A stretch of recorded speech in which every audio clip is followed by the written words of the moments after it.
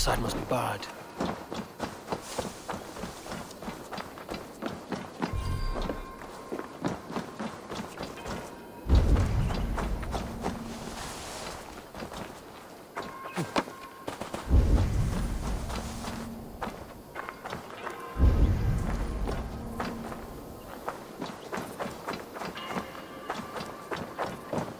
Must be blocked from the other side.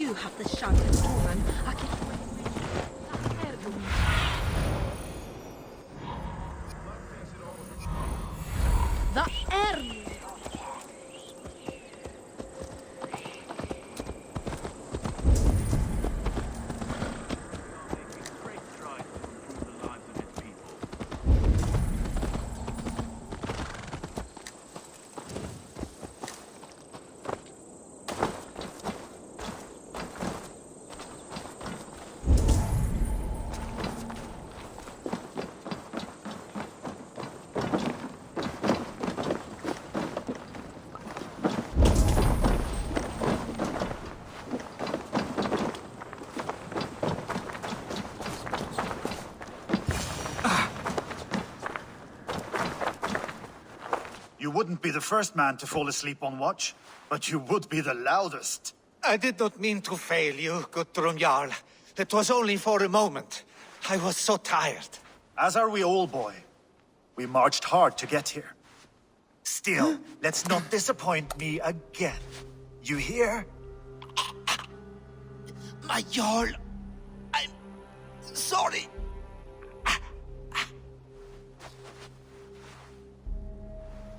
You must be Eivor. I've heard much of you, young one. They say you're something. We'll see.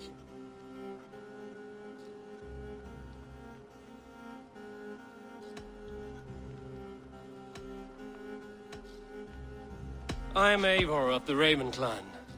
I have carved a furrow through this teeming land, and the skulls sing loud of my deeds. Those who boast have something to prove. The great have no need for it. Eivor hopes to rescue Sigurd from the madwoman Fulke, now ensconced in Porchester Fortress. If you wish to crown yourself King of Wessex, Porchester must fall. An alliance here serves us both. You promised a great army, but you couldn't breach a crone's garden with what you have assembled here. This is not the sum of my forces. Where are the rest? Your allies are on their way. We must be patient. We cannot wait for them. We march as soon as we're able. With these numbers, are you keen to see Valhalla today? I will not sit on my heels while Sigurd rots in that she-dog's care. We might muster for an attack in the woods east of Porchester. But there are scouts between there and here. Scouts I can manage. Point me at them and I will blind Fulke's eyes. One walks the road between Briggsworth and Chichester. Another on the riverbank north of Crowley. A third keeps watch on the hills south of Croendene. Eh? But I warn you, these are all we know of. There may be more. A risk we must take. I will find the scouts. You move the men into position near Porchester. That is a rash gamble, Ravenfeeder. If we are spotted, we will be vulnerable. If you want victory, come now or not at all. Every hour we waste could be Seeker's last. You had better be all they promised.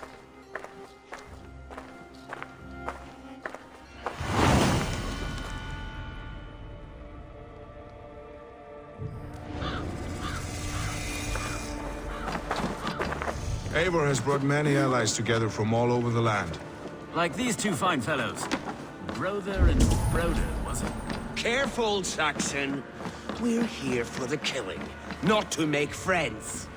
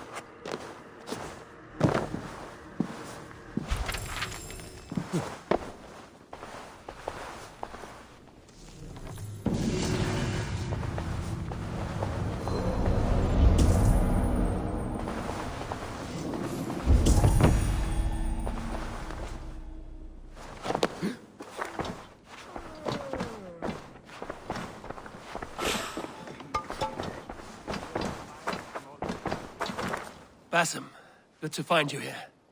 What news do you have? Fulke remains at Porchester, just as we suspected. And as of three days ago, Sigurd was with her, alive. That is the best news we could hope for. And how are you? I am well, and keen to see my old friend again. You'll be glad to see you, I'm sure.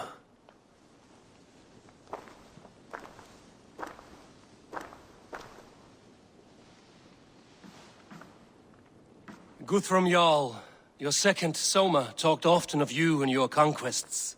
They are all one in my memory.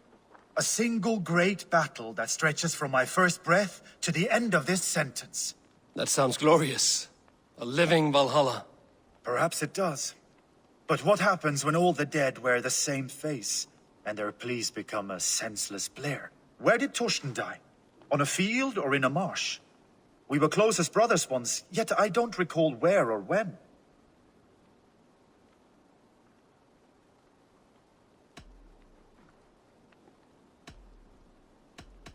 You wear the scars of battle, and not only on your skin. The needle of loss becomes blunt once you have been pierced enough. But enough of that.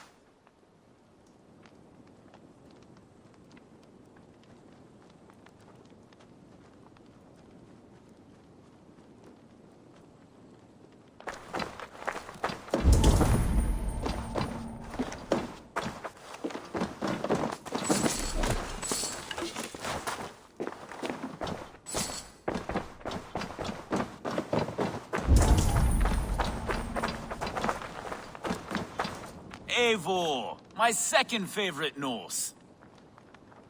Must we always drift together on such violent tides? That is the way of things. Yet the meeting of friends is a glimmer of light in these dark days. Ever the optimist, though. It's good to see you both. I brought no pleasant words, only my blade. Let's see which proves more useful.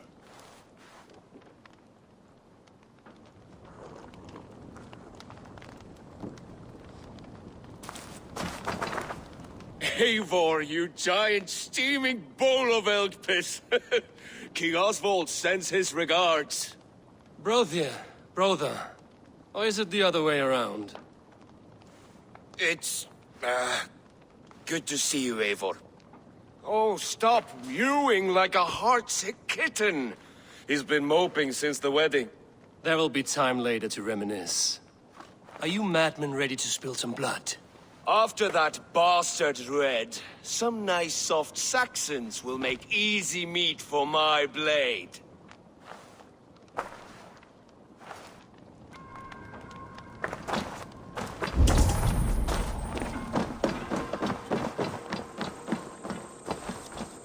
I'll follow you, Eivor, to glory and Valhalla! Brave with me, warrior. For plunder, glory, and Valhalla.